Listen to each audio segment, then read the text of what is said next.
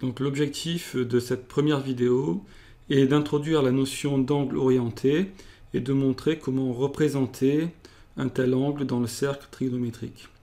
Par définition, le cercle trigonométrique, c'est le cercle qui a pour centre l'origine du repère et qui a pour euh, rayon l'unité choisie dans ce repère, c'est-à-dire la longueur 1 choisie dans ce repère. Euh, nous avons également dessiné un angle en vert qui a pour sommet lui aussi l'origine du repère. Et, les côtés de cet angle coupent le cercle trigonométrique en deux points, grand I et grand M.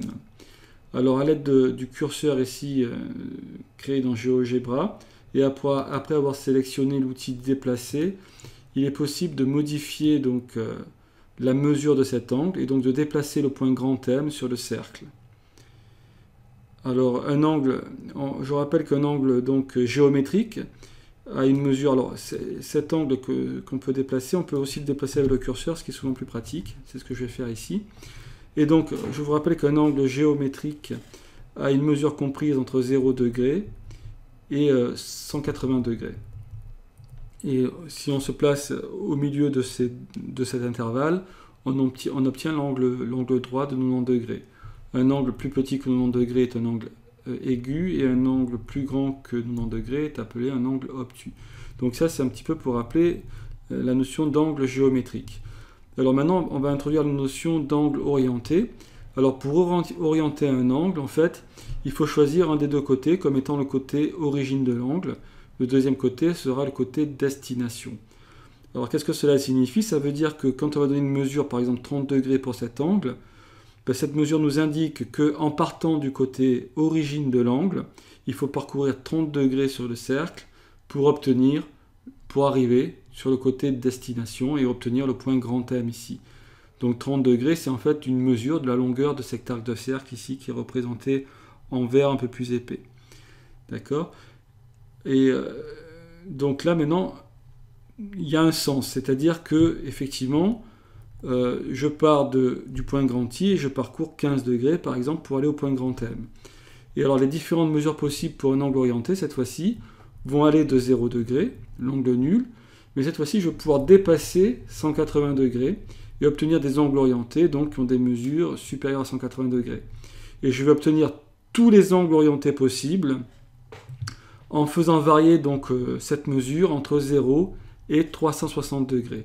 C'est-à-dire qu'à tout, à tout nombre compris entre 0 et 360 va correspondre un angle orienté et un seul.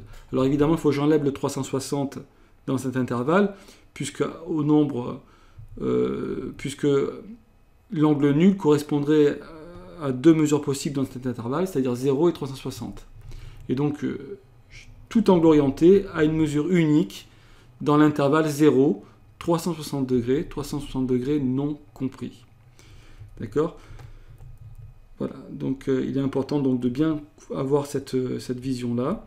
Et donc à tout point grand thème sur le cercle trigonométrique correspond finalement un angle orienté et un seul, et réciproquement, à tout angle orienté euh, correspond un point et un seul sur le cercle trigonométrique.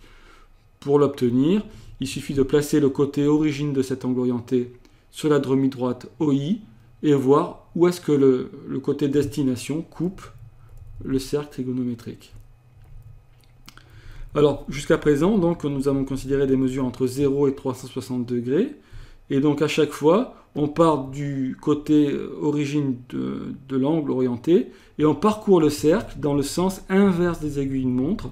Alors ce sens, c'est ce qu'on appelle le sens trigonométrique et c'est le sens positif pour mesurer donc des, les angles orientés.